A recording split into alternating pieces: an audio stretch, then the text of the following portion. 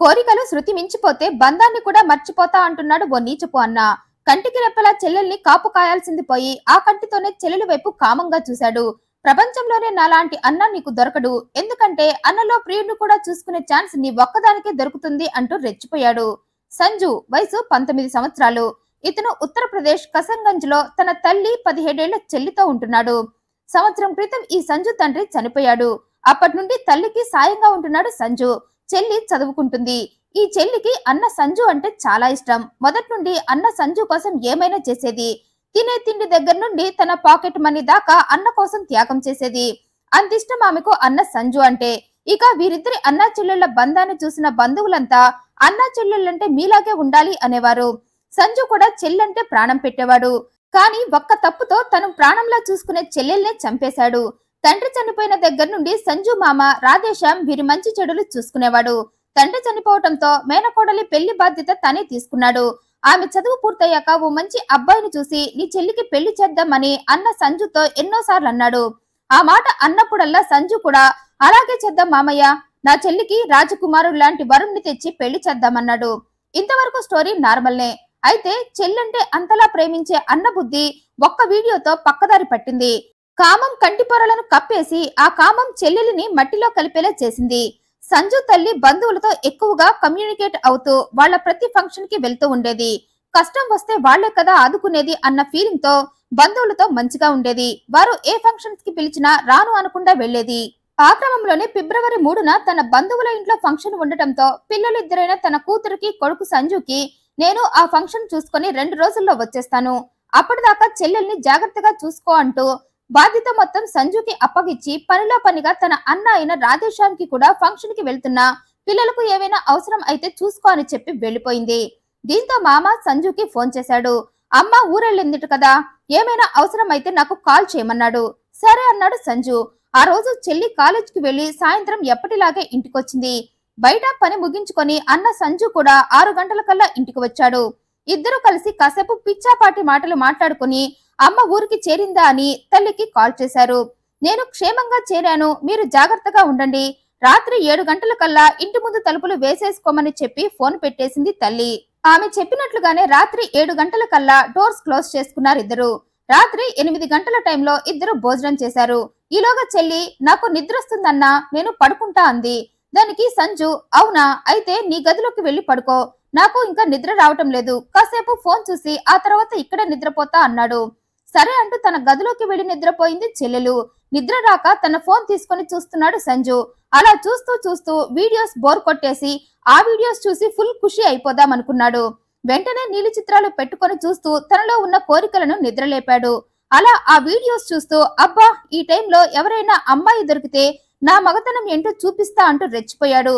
అలాగే మరికొద్దిసేపు ఆ వీడియోలు చూసేసరికి ఇక తట్టుకోలేకపోయాడు. ఇక నా వల్ల కాదు అర్జెంట్గా ఎవరో ఒకరిని లైన్ చేసి నా కోరిక తీర్చుకోవాల్సిందే అనుకున్నాడు. అయితే సంజుకి పెద్దగా గర్ల్ ఫ్రెండ్స్ ఎవరూ లేరు. ఉన్న తన కోరిక తీర్చేంత క్లోజ్ ఫ్రెండ్స్ ఎవరూ కాదు. దీంతో సంజు ఆలోచనలో పడ్డాడు. ఏది ఏమైనా నా కోరిక తీర్చుకోవాల్సిందే అని అది ఎలాగా అని ఆలోచిస్తూ ఉండగా గదిలో నిద్రపోతున్న తన చెల్లెలు గుర్తుకొచ్చింది. వెంటనే కామానికి వావి వరుసలు ఉండవంటూ తన కోరికను తన సొంత చెల్లితోనే తీర్చుకోవాలి అనుకున్నాడు. ఆ క్షణం ఆ నీచుడికి అది తప్పు అని అస్సలు అనిపించలేదు. కోరిక తీర్చుకోవడానికి ఆడా మగ అయితే చాలు ఈ బంధాలు అనుబంధాలు వేస్ట్ అవి చెప్పుకోవటానికే అంటూ అన్న అన్న బంధాన్ని సమాధి చేసేసి ఆశగా చెల్లి గదిలోకి వెళ్ళాడు. గదిలో గాఢ నిద్రలో ఉన్న చెల్లెల్ని కామంగా చూస్తూ అబ్బా నా చెల్లి ఎంత అందంగా ఉంది. ఇన్నాళ్ళు ఇంత అందాన్ని నేను మిస్ అయిపోయానా? అనుకుంటూ ఆరాటంగా ఆమె దగ్గరకు వెళ్ళి చేయేశాడు. ఎవరో పట్టుకున్నట్లు అనిపించి ఆమె నిద్రలేచింది.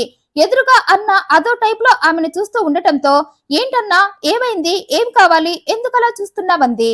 దీంతో సంజు ప్లీజ్ ఒక్క పది నిమిషాలు సైలెంట్గా ఉండు అంటూ ఆమెను బలవంతం చేయబోయాడు. అన్నలో కామాంధుడి యాంగిల్ చూసిన ఆ చెల్లి ఒక్కసారిగా షాక్ అయిపోయింది.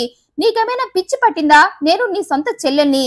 నా మీద నువ్వు ఆశపడటం ఏంటి? ఇది చాలా తప్పు. ముందు నువ్వు ఇక్కడ నుండి వెళ్ళిపో. లేకపోతే అరిచి గోల చేసి అందరినీ పోగేసి నీ బుద్ధి అందరికీ తెలిసేలా చేస్తా అంది.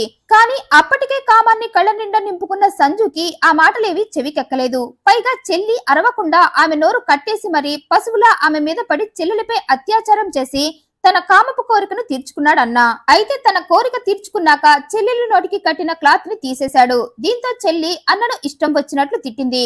కామంతో నేను నీ చెల్లినన్న విషయం మర్చిపోయి నన్ను చెరిచావు.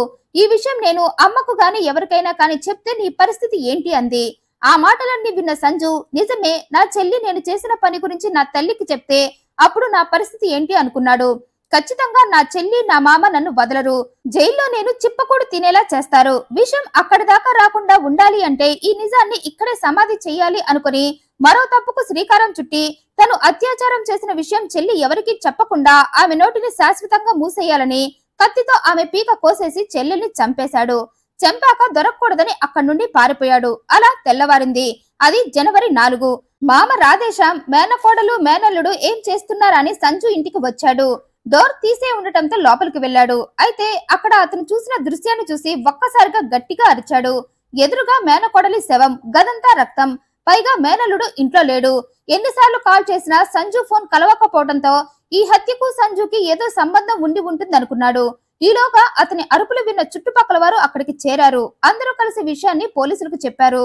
పోలీసులు ఎంట్రీ ఇచ్చి శవాన్ని పోస్టుమార్టానికి పంపారు. రిపోర్ట్లో ఆమెపై అత్యాచారం చేసి చంపారని తేలింది. దీంతో మామ రాధేశ్యాం నా మేనకోడల్ని నా మేనలుడు సంజుని చంపేసి ఉండాలి. ఎందుకంటే జనవరి మూడు హత్య జరిగిన రోజున అన్న చెల్లెళ్ళిద్దరే ఇంట్లో ఉన్నారు. పైగా చెల్లి చనిపోయిన దగ్గర నుండి సంజు అడ్రస్ లేకుండా పోయాడని మేనలుడు సంజుపై కేసు పెట్టాడు. దీంతో పోలీసులు సంజుని పట్టుకునే ప్రయత్నాలు చేసి ఇరవై నాలుగు గంటల్లోనే అతన్ని పట్టుకుని విచారించారు. విచారణలో సంజు నేనే నా చెల్లెలిపై అత్యాచారం చేసి ఆపై హత్య కూడా చేశానని చెప్పాడు. నా చెల్లి నేను ఆమెపై బలవంతం చేసిన విషయం నా తల్లికి చెప్పేస్తుందేమో అన్న భయంతోనే ఆ నిజం బయటపడకుండా ఉండాలనే ఆమెను చంపేశానన్నాడు. ఆ రోజు నేను నీలి చిత్రాలు చూసి కోరిక ఆపుకోలేక నా చెల్లెలతో బలవంతంగా కోరిక తీర్చుకొని చంపేశానన్నాడు.